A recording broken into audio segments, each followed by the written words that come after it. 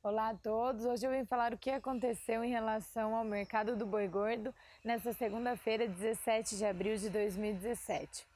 É, bom, a gente tem um cenário típico é, de segunda-feira com baixa movimentação.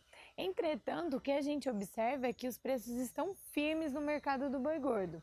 A gente tem um pecuarista segurando né, é, a boiada é, e isso dificulta é, o alongamento das escalas nos frigoríficos. Então, colabora para esse ânimo aí é, nas, nas cotações. Né? A gente tem alguns pagamentos acima da referência. Em São Paulo, a gente teve alta mais uma vez é, e a arroba do macho terminado ficou cotado em 137 reais é, à vista.